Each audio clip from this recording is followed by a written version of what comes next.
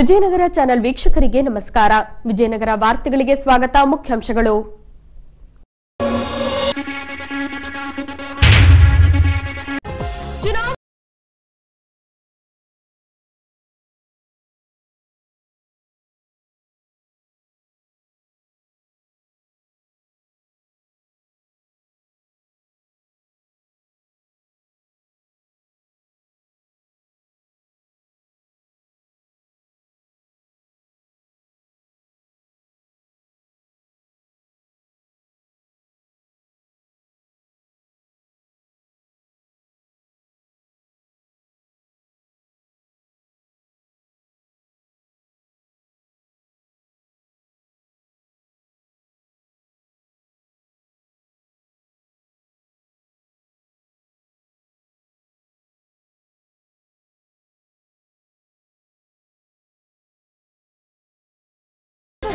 ರಾತ್ರಿ ಹತ್ತರ ನಂತರ ಡಿಜೆಗೆ ಬ್ರೇಕ್ ಹಾಕಿದ ಪೊಲೀಸ್ ಇಲಾಖೆ. ಈಗ ವಾರ್ತೆಗಳ ವಿವರ. ಮಹಿಳೆಯರಿಗೆ ರಾಜಕೀಯ ಕ್ಷೇತ್ರದಲ್ಲಿ ಹೆಚ್ಚಿನ ಆದ್ಯತೆ ನೀಡುವ ಹಿನ್ನೆಲೆಯಲ್ಲಿ ಕೇಂದ್ರ ಸರ್ಕಾರ ಮಹತ್ವದ ನಿರ್ಧಾರವನ್ನ ತೆಗೆದುಕೊಂಡಿದೆ. ನೂತನ ಪಾರ್ಲಿಮೆಂಟ್ ಕಟ್ಟಡದಲ್ಲಿ ನಡೆದ ಸದನದಲ್ಲಿ ಮಹಿಳೆಯರಿಗೆ ಶೇಕಡಾ ಮೂವತ್ಮೂರರಷ್ಟು ಮೀಸಲಾತಿ ನೀಡಲು ಒಪ್ಪಿಗೆ ಪಡೆಯಲಾಗಿದೆ. ಈ ಹಿನ್ನೆಲೆಯಲ್ಲಿ ಹೊಸಪೇಟೆ ಪಟೇಲ್ ನಗರದಲ್ಲಿ ಬರುವ ಬಿಜೆಪಿ ಕಚೇರಿಯಲ್ಲಿ ಮಹಿಳಾ ಮೋರ್ಚಾ ಹಾಗೂ ಹೊಸಪೇಟೆ ಮಂಡಲದಿಂದ ಪ್ರಧಾನಿ ನರೇಂದ್ರ ಮೋದಿರವರ ಬ್ಯಾನರ್ಗೆ ಹಾಲನ್ನೆರೆಯುವ ಮೂಲಕ ಲೋಕಸಭಾ ಹಾಗೂ ವಿಧಾನಸಭಾ ಚುನಾವಣೆಯಲ್ಲಿ ಮಹಿಳೆಯರಿಗೆ ಶೇಕಡಾ ಮೂವತ್ಮೂರರಷ್ಟು ಮೀಸಲಾತಿ ಕಲ್ಪಿಸಿಕೊಟ್ಟಿದ್ದಕ್ಕೆ ಕೃತಜ್ಞತೆ ತಿಳಿಸಿದ್ದಾರೆ.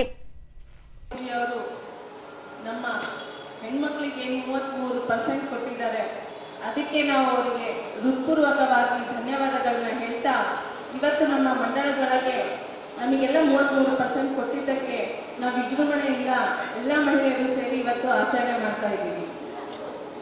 ಹಿಂಗೆ ಹೆಣ್ಮಕ್ಳು ಎಲ್ಲರಿಗೂ ಮೂವತ್ತು ಪರ್ಸೆಂಟ್ ಕೊಡ್ತಾ ಇರೋ ಮೋದಿಜಿ ಅವರಿಗೆ ನಾವು ಹೃತ್ಪೂರ್ವಕವಾದ ಧನ್ಯವಾದಗಳನ್ನ ಹೇಳ್ತಾ ಇವತ್ತು ಹೆಣ್ಮಕ್ಳು ಇನ್ನೂ ಎತ್ತರಕ್ಕೆ ಬೆಳಿಬೇಕು.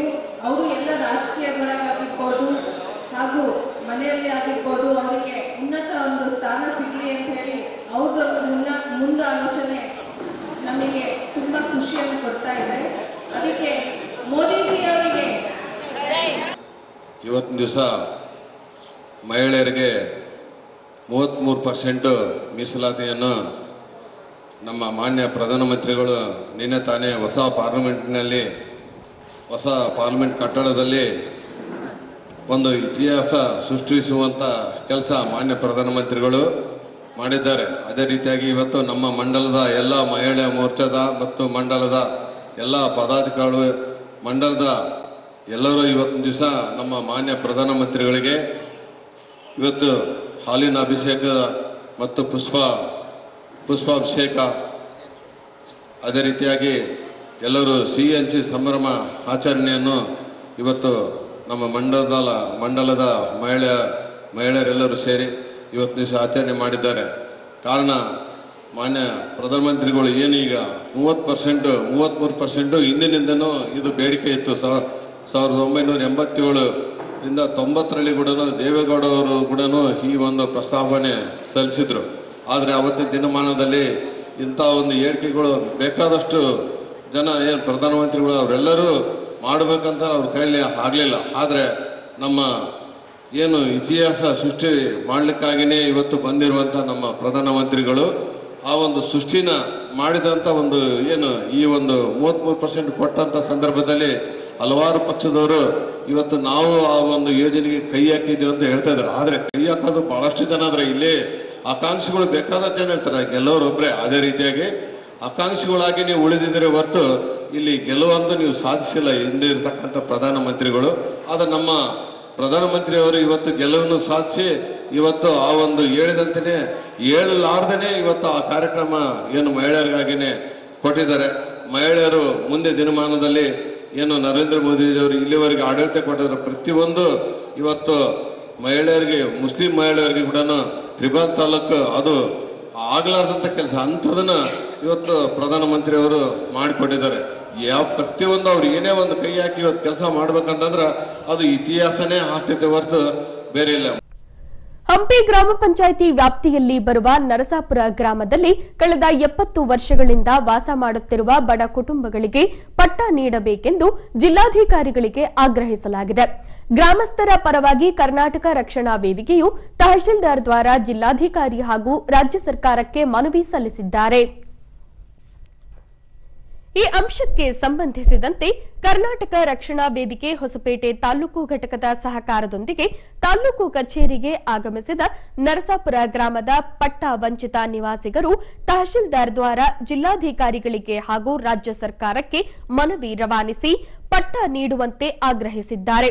ನರಸಾಪುರ ಗ್ರಾಮದ ಸರ್ವೆ ನಂಬರ್ ನೂರ ಹದಿನೈದು ಹಾಗೂ ಇನ್ನೂರ ಎಪ್ಪತ್ತೊಂಬತ್ತರಲ್ಲಿ ಕಳೆದ ಎಪ್ಪತ್ತು ವರ್ಷಗಳಿಂದ ವಾಸ ಮಾಡುತ್ತಿರುವ ಬಡ ಕುಟುಂಬಕ್ಕೆ ಪಟ್ಟ ನೀಡಿ ಸರ್ಕಾರದಿಂದ ಮೂಲಸೌಕರ್ಯ ಒದಗಿಸಬೇಕೆಂದು ಕರ್ನಾಟಕ ರಕ್ಷಣಾ ವೇದಿಕೆಯಿಂದ ಆಗ್ರಹಿಸಲಾಗಿದೆ.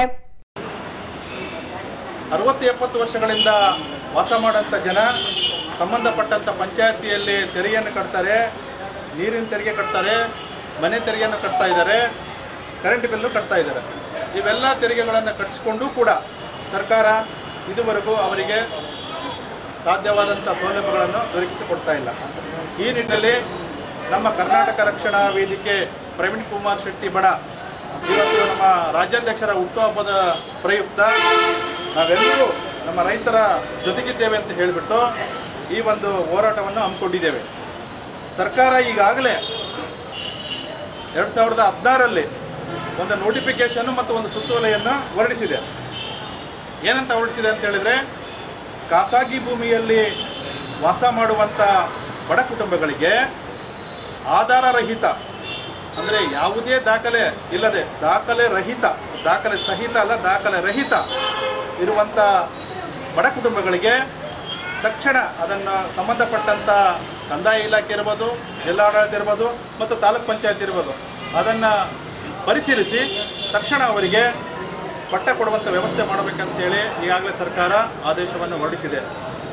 ಈ ನಿಟ್ಟಿನಲ್ಲಿ ನಾವು ನಮ್ಮ ಕರ್ನಾಟಕ ರಕ್ಷಣಾ ವೇದಿಕೆ, ವಿಜಯನಗರ ಜಿಲ್ಲಾ ಘಟಕ ಮತ್ತು ತಾಲೂಕು ಘಟಕವು ಸೇರಿಕೊಂಡು ಈಗಾಗಲೇ ನಾವು ತಾಲೂಕು ಅಧಿಕಾರಿಗಳಿಗೆ ನಾವು ಅರ್ಜಿಯನ್ನು ಸಲ್ಲಿಸಿದ್ದೇವೆ. ಆ ಅರ್ಜಿಗೆ ಯಾವುದೇ ರೀತಿಯ ಮನ್ನಣೆ ನೀಡಿಲ್ಲ.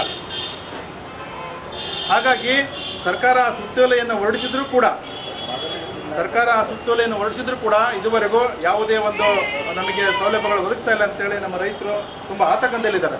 ನಾವು ದಿನಾಂಕ ಮೂವತ್ತೊಂದು ಏಳು ಎರಡು ಸಾವಿರದ ಇಪ್ಪತ್ತ್ಮೂರರಲ್ಲಿ ತಹಸೀಲ್ದಾರ್ ಅವರಿಗೆ ಮತ್ತು ಗ್ರಾಮ ಪಂಚಾಯತ್ ಅವರಿಗೆ ನಾವು ಅರ್ಜಿಯನ್ನು ಸಲ್ಲಿಸಿದ್ದೇವೆ.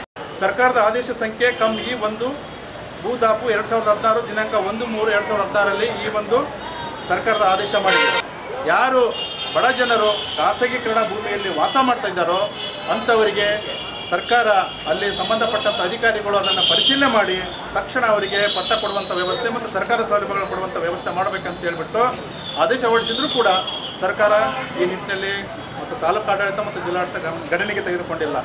ಸೊ ಈ ನಿಟ್ಟಿನಲ್ಲಿ ನಾವು ಮನವಿ ಮಾಡಿಕೊಳ್ಳೋದೇನಂತ ಹೇಳಿದ್ರೆ ಕರ್ನಾಟಕ ರಕ್ಷಣಾ ವೇದಿಕೆ ಜಿಲ್ಲಾ ಘಟಕ ಮತ್ತು ತಾಲೂಕು ಘಟಕವು ತಕ್ಷಣ ಈ ಒಂದು ಮನವಿಯನ್ನು ನಮ್ಮ ಮನವಿಗೆ ಸ್ಪಂದಿಸಿ ನಮ್ಮ ರೈತರಿಗೆ, ನಮ್ಮ ಹಳ್ಳಿಯ ಜನರಿಗೆ ತಾವೇನಾದರೂ ಪಟ್ಟ ಕೊಡೋದೇ ಇದ್ದರೆ ಮತ್ತು ಸರ್ಕಾರ ಸೌಲಭ್ಯಗಳು ಕೊಡದೇ ಇದ್ದರೆ ನಾವು ಉಗ್ರ ಹೋರಾಟವನ್ನು ಮಾಡಬೇಕಾಗ್ತದೆ ಅಂತ ಹೇಳ್ಬಿಟ್ಟು ತಮ್ಮಲ್ಲಿ ಎಚ್ಚರಿಕೆಯನ್ನು ಕೊಡ್ತಾ ಇದ್ದೇವೆ. ರಾಜ್ಯದಲ್ಲಿ ಸಮರ್ಪಕವಾಗಿ ಮಳೆ ಬಾರದ ಹಿನ್ನೆಲೆಯಲ್ಲಿ ಹಲವು ಜಿಲ್ಲೆಗಳಲ್ಲಿ ಬರ ಕಾಣಿಸಿಕೊಂಡಿದೆ. ಮಳೆಯಾಶ್ರಿತ ಜಮೀನಿನಲ್ಲಿ ಬೆಳೆದ ಬೆಳೆಗಳು ಮಳೆ ಇಲ್ಲದೆ ಸಂಪೂರ್ಣ ಒಣಗಿ ರೈತರ ಪ್ರಾಣ ಹಿಂಡತೊಡಗಿದಂತಾಗಿದೆ ಹೀಗೆ ಈಗಾಗಲೇ ವಿಜಯನಗರ ಜಿಲ್ಲೆಯಲ್ಲಿ ಬರುವ ಆರು ತಾಲೂಕುಗಳನ್ನು ಬರ ಪ್ರದೇಶವೆಂದು ಘೋಷಿಸಲಾಗಿದೆ. ಹೌದು. ಹೌದು. ವಿಜಯನಗರ ಜಿಲ್ಲೆಯಲ್ಲಿ ಬರುವ ಆರು ತಾಲೂಕುಗಳನ್ನ ಬರ ಪ್ರದೇಶವೆಂದು ರಾಜ್ಯ ಸರ್ಕಾರದಿಂದ ಘೋಷಣೆ ಮಾಡಿ ಬರ ಪರಿಹಾರ ನೀಡುವುದಾಗಿ ತಿಳಿಸಿದೆ. ಆದರೆ ಕೆಲ ಮಾನದಂಡಗಳನ್ನ ರೂಪಿಸಿ ಬೆಳೆಯನ್ನ ಕಳೆದುಕೊಂಡ ಪ್ರತಿಯೊಬ್ಬ ರೈತರಿಗೆ ಬರ ಪರಿಹಾರ ನೀಡುವ ವ್ಯವಸ್ಥೆ ಮಾಡಬೇಕೆಂದು ರೈತ ಸಂಘಟನೆಯ ಮುಖಂಡರು ಈ ವೇಳೆ ತಿಳಿಸಿದ್ದಾರೆ. ಸರ್, ಈಗ ಈ ಬಾರಿ ವಿಜಯನಗರ ಜಿಲ್ಲೆ ಕೂಡ ಬರಗಾಲ ಪ್ರದೇಶವಾಗಿ ರಾಜ್ಯ ಸರ್ಕಾರ ಇತ್ತೀಚಿನ ದಿನ ಘೋಷಣೆ ಮಾಡಿದೆ. ಬಟ್ ಈಗ ರೈತರಿಗೆ ಬರ ಪರಿಹಾರ ಬರೋಂಥ ನಿಟ್ಟಿನಲ್ಲಿ N D R F S R F ಅಂತಂದೇಳಿ ಒಂದು ಸ್ಟೇಟ್ಮೆಂಟನ್ನು ಇವತ್ತು ಆದೇಶಗಳು ಆಗ್ತದೆ ಬಟ್ ಒಟ್ಟಾರೆಯಾಗಿ ಏನಾಗ್ತದೆ ಅಂದರೆ ಅಕೌಂಟ್ಗಳಿಗೆ ರೈತರಿಗೆ ಬರಲಾರ್ದ ಸ್ಥಿತಿ ಇವತ್ತು ತಾಲೂಕು ಆಡಳಿತ ಅಧಿಕಾರಿಗಳು ಮಾಡ್ತಕ್ಕಂಥ ಇದೆ ಸರ್. ಈಗ ಯಾಕೆ ಈ ಮಾತು ಹೇಳ್ತಿದೀವಿ ಅಂದರೆ ಇವತ್ತು ಅಕೌಂಟ್ಗಳಲ್ಲಿ ಪಾನಿಗಳಲ್ಲಿ ಜಾಯಿಂಟ್ ಇರ್ತಾವ. ಜಾಯಿಂಟ್ ಇದ್ದಂಥ ಸಂದರ್ಭದಲ್ಲಿ ಕರೆಕ್ಟಾಗಿ ಅಮೌಂಟ್ ಬೀಳಾರ್ದಂಥ ಸ್ಥಿತಿ ಇವತ್ತು ನಿರ್ಮಾಣ ಮಾಡ್ತಾರೆ. ಅಧಿಕಾರಿಗಳು ನಾನೇನು ಹೇಳ್ತೇನೆ ಅಂದರೆ ಫೈನಲ್ ಇರ್ತಕ್ಕಂಥ ಯಾರೆಲ್ಲ ಇರ್ತಾರೆ, ಅವ್ರಿಗೊಂದು ಜಾಯಿಂಟ್ ಆಗಿರೋದ್ರಿಂದ ಹತ್ತು ಜನ ಇವತ್ತು ಲಾಭ ತಗೊಳ್ಳೋಂಥ ಪರಿಸ್ಥಿತಿ ನಿರ್ಮಾಣ ಆಗುತ್ತೆ. ಸೊ ಹಾಗಾಗಿ ವಿಲೇಜ್ ಅಕೌಂಟ್ಗಳು ಗ್ರಾಮ ಸಭೆಗಳು ಮಾಡೋದ್ರ ಮೂಲಕ ಅಲ್ಲಿ ರೈತರು ಯಾರೆಲ್ಲ ಜಂಟಿ ಆಗಿರ್ತಾರೆ, ಅವ್ರನ್ನ ಪ್ರತ್ಯೇಕವಾಗಿ ಏನಾದರೂ ಒಂದಿಷ್ಟು ಮಾನದಂಡಗಳನ್ನ ಉಪಯೋಗಿಸಿ ಅದರಲ್ಲಿ ಕೊಡ್ಲಿಕ್ಕೆ ಏನಾದರೂ ಆದರೆ ಮಾತ್ರ ರೈತ ಇವತ್ತು ಈ ಬರಗಾಲ ಪ್ರದೇಶದ ಅನುದಾನಗಳು ನ್ಯಾಯಯುತವಾಗಿ ಸಿಗ್ಲಿಕ್ಕೆ ಸಾಧ್ಯ. ಇಲ್ಲದೆ ಹೋದರೆ ಘೋಷಣೆ ಮಾಡಿರ್ತಕ್ಕಂಥ ಅನುದಾನ ಮತ್ತೆ ಎಲ್ಲಿ ವಾಪಸ್ ಹೋಗ್ತಕ್ಕಂಥ ರೀತಿಯಲ್ಲಿ ಕೂಡ ಇವತ್ತು ಆಗ್ಬೋದು ಅಂತಂದೇಳಿ ನಾವು ಈ ಸಂದರ್ಭದಲ್ಲಿ ಹೇಳ್ತಾ ಇದ್ದೀವಿ ಸರ್.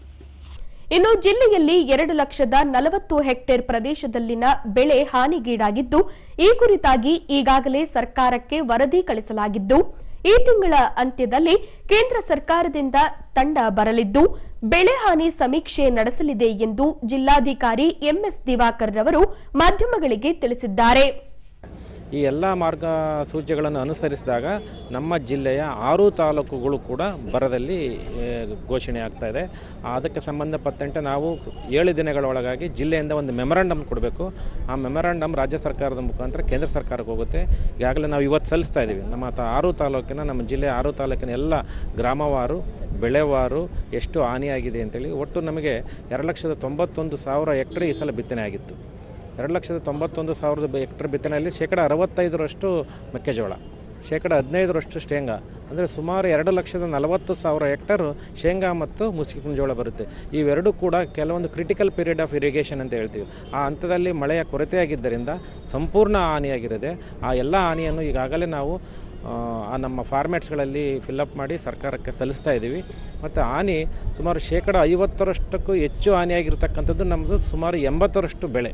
ಕೇವಲ ಒಂದು ಎಂಟರಿಂದ ಹತ್ತು ಸಾವಿರ ಹೆಕ್ಟ್ರು ಮಾತ್ರ ಕೆಲವು ಕಡೆ ಬೆಳೆ ಚೆನ್ನಾಗಿದೆ. ಮತ್ತು ನೀರಾವರಿ ಎಲ್ಲಿದೆ? ಅಲ್ಲಿ ಮಾತ್ರ ಹತ್ತು ಸಾವಿರ ಹೆಕ್ಟ್ರ್ ಬಿಟ್ಟರೆ ಎರಡು ಲಕ್ಷದ ನಲವತ್ತು ಸಾವಿರ ಹೆಕ್ಟರ್ ಕೂಡ ಸಂಪೂರ್ಣ ಹಾನಿಯಾಗಿದೆ. ಅದನ್ನು ವರದಿಯನ್ನು ಈಗ ಮಾಡ್ತಾ ಇದ್ದೀವಿ. N D R F, S D R F norms ಪ್ರಕಾರ ನಮಗೆ ಆರು ಸಾವಿರದ ಐನೂರು ಪರ್ ಹೆಕ್ಟರ್ ಇದೆ. ಅದನ್ನು ರಾಜ್ಯ ಸರ್ಕಾರ ಟಾಪ್ ಅಪ್ ಕೊಟ್ಟಿದೆ ಅದಕ್ಕೆ.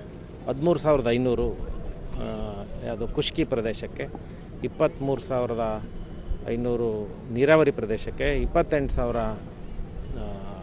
ತೋಟಗಾರಿಕೆ ಇದಕ್ಕೆ. ಇದು ರಾಜ್ಯ ಸರ್ಕಾರದ top up. N D R F, S D R F ಜೊತೆಗೆ ರಾಜ್ಯ ಸರ್ಕಾರನೂ ಹೆಚ್ಚುವರಿ ಮೊತ್ತವಾಗಿ ಈ ರೈತರಿಗೆ ಸಹಾಯ ಮಾಡಲಿಕ್ಕೆ ಒಂದು ಯೋಜನೆಯನ್ನು ಮಾಡಿದೆ, ನಮಗೆ ನಿರ್ದೇಶನವನ್ನು ಕೊಟ್ಟಿದೆ. ಒಮ್ಮೆ ಈ ಕೇಂದ್ರ ಸರ್ಕಾರದ ಒಂದು ತಂಡ ಬರ್ಬೋದು ನಮಗೆ ಈ ತಿಂಗಳ ಅಂತ್ಯದಲ್ಲಿ ಯಾವುದಾದ್ರೂ ಒಂದು ಸಮಯದಲ್ಲಿ. ಆ ತಂಡ ಬಂದಾಗ ಅವರಿಗೆ ನಾವು ಹಾನಿಯಾದ ಪ್ರದೇಶಗಳನ್ನು ನೋಡಲಿಕ್ಕೆ ಎಲ್ಲ ಜಿಲ್ಲೆ ಎಲ್ಲ ಇಲಾಖೆ ಅಧಿಕಾರಿಗಳಿಗೆ ಸೂಚನೆಯನ್ನು ಕೊಡಲಾಗಿದೆ. ಅವರಿಗೆ ಒಂದು ರೂಟ್ ಮ್ಯಾಪ್ ಕೂಡ ಮಾಡಿದ್ದಾರೆ. ಅದನ್ನು ನಾವು ಕೇಂದ್ರ ಸರ್ಕಾರಕ್ಕೆ ಮನವರಿಕೆ ಮಾಡಲಿಕ್ಕೆ ನಾವು ಜಿಲ್ಲಾಡಳಿತ ಸನ್ನದ್ಧವಾಗಿದೆ. ಇಪ್ಪತ್ತೊಂದು ನಂತರ? ಅದು ಟೀಮ್ ಬರುತ್ತೆ ಮೂರ್ನಾಲ್ಕು ಟೀಮು ರಾಜ್ಯ ಸರ್ಕಾರಕ್ಕೆ. ಅವರು ಯಾವ ಒಂದು ರೂಟ್ ಮ್ಯಾಪ್ ಆಗಿರ್ತಾರೆ ಆ ಜಿಲ್ಲೆಗಳಲ್ಲಿ ಅದು ಆ ತಂಡ ಪರಿಶೀಲನೆ ಮಾಡುತ್ತೆ ಗಣೇಶ ಉತ್ಸವ ಆಚರಣಾ ಸಮಿತಿಗಳಿಂದ ಗಣೇಶನ ವಿಗ್ರಹವನ್ನ ಸಾರ್ವಜನಿಕ ಸ್ಥಳಗಳಲ್ಲಿ ಪ್ರತಿಷ್ಠಾಪಿಸಿ ಪೂಜೆ ಸಲ್ಲಿಸಿಕೊಂಡು ಬರಲಾಗುತ್ತದೆ. ಅದೇ ರೀತಿ ಗಣೇಶನ ವಿಸರ್ಜನೆಯ ಮುನ್ನಾ ದಿನದಂದು ಸಾರ್ವಜನಿಕರಿಗೆ ಅನ್ನಸಂತರ್ಪಣೆ ನಡೆಸಿಕೊಂಡು ಬರುವುದು ವಾಡಿಕೆಯಾಗಿದೆ. ಹೌದು ಗಣೇಶ ಉತ್ಸವ ಆಚರಣಾ ಸಮಿತಿಯಿಂದ ಗಣೇಶನ ವಿಗ್ರಹವನ್ನ ಪ್ರತಿಷ್ಠಾಪಿಸಿ ಮೂರು, ಐದು, ಒಂಬತ್ತು ಅಥವಾ ಹನ್ನೊಂದು ದಿನಗಳ ಕಾಲ ಪ್ರತಿಷ್ಠಾಪಿಸಿ ವಿಸರ್ಜನೆಯ ಮುನ್ನಾ ದಿನದಂದು ಸಾರ್ವಜನಿಕರಿಗೆ ಅನ್ನ ಸಂತರ್ಪಣೆ ನಡೆಸಿಕೊಂಡು ಬರಲಾಗುತ್ತದೆ. ಹೀಗೆ ಇಪ್ಪತ್ತಾರನೇ ವಾರ್ಡ್ ಕಬ್ಬೇರಪೇಟೆಯಲ್ಲಿ ನವಜ್ಯೋತಿ ಯುವಕರ ಸಂಘದಿಂದ ಕಳೆದ ಮೂವತ್ತೈದು ವರ್ಷಗಳಿಂದ ಗಣೇಶ ಉತ್ಸವ ನಡೆಸಿಕೊಂಡು ಬರಲಾಗುತ್ತಿದೆ.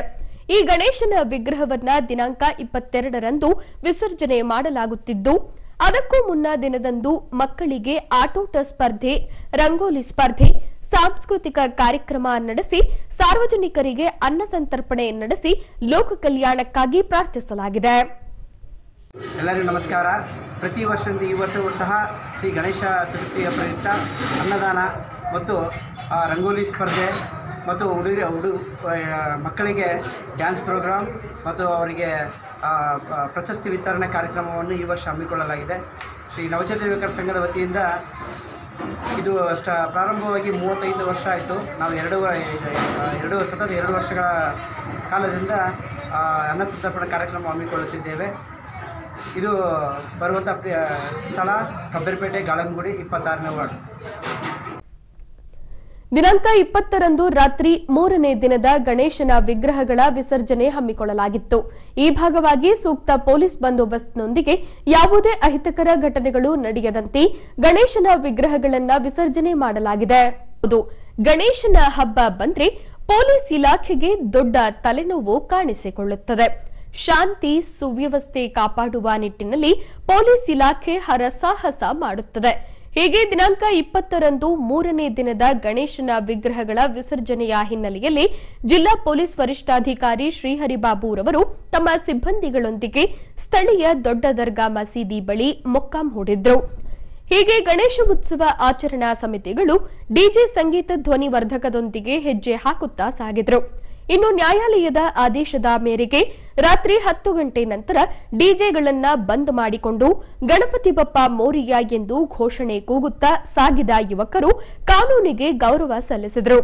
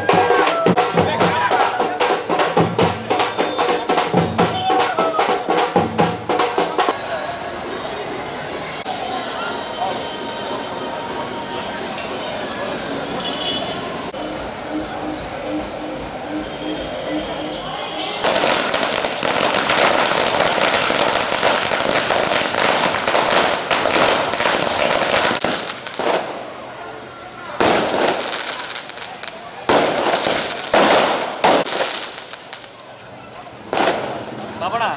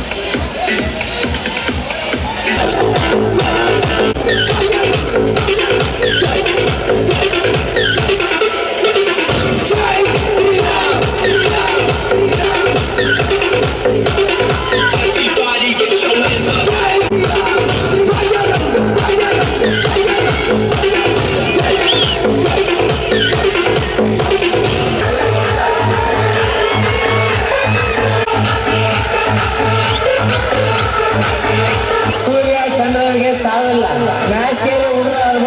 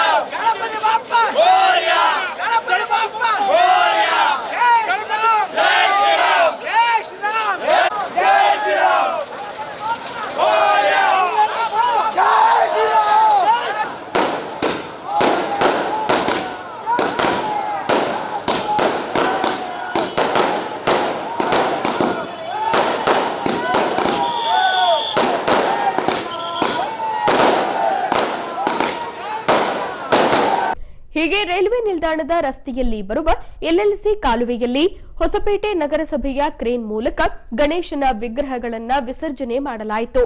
ಇನ್ನು ಐದನೇ ದಿನದ ಗಣೇಶನ ವಿಗ್ರಹಗಳು ಇದೇ ರೀತಿಯಾಗಿ ಶಾಂತತೆಯಿಂದ ವಿಸರ್ಜನೆಗೊಳ್ಳಲಿ ಎಂಬುವುದು ಎಲ್ಲರ ಆಶಯವಾಗಿದೆ.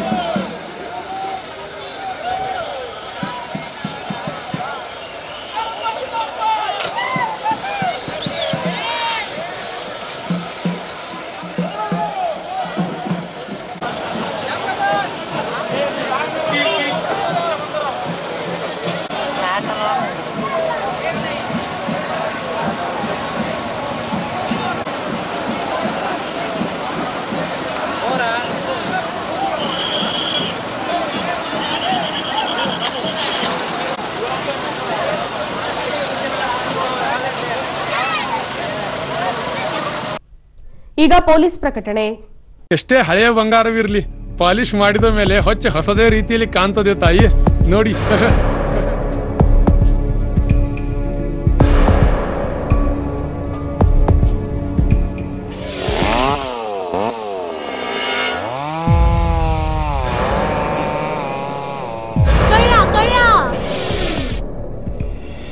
ತಾಯಿ ನಿಮ್ ಮೈ ಮೇಲೆ ಅದು ಹೊಲಸು ಬಿದ್ದಿದೆ.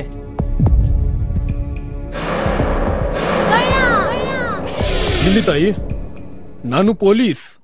ಅಲ್ಲಿ ಮುಂದೆ ದಾರಿಲಿ ದೊಡ್ಡ ಗಲಾಟೆ ಆಗಿದೆ.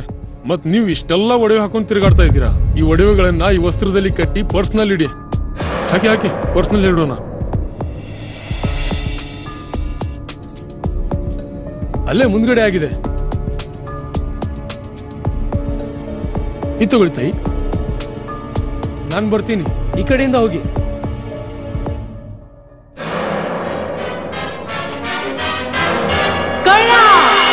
ಮೋಸದ ಸಂಗತಿ ನಿಮಗೂ ನಡೆಯಬಹುದು. ತಮ್ಮ ಬೆಲೆ ಬಾಳುವ ಒಡವೆ, ಆಭರಣ ವಸ್ತುಗಳನ್ನು ಎಚ್ಚರಿಕೆಯಿಂದ ಕಾಪಾಡಿ. ಯಾವುದೇ ಮಾತುಗಳಿಗೆ ಮರುಳಾಗಬೇಡಿ. ಸಂಶಯಾಸ್ಪದ ರೀತಿಯಲ್ಲಿ ಯಾರಾದರೂ ಕಂಡು ಬಂದರೆ ಸಮೀಪದ ಪೊಲೀಸ್ ಠಾಣೆಯನ್ನು ಸಂಪರ್ಕಿಸಿರಿ. ಈಗ ಕೊನೆಯಲ್ಲಿ ಮತ್ತೊಮ್ಮೆ ವಾರ್ತೆಗಳ ಮುಖ್ಯಾಂಶಗಳು.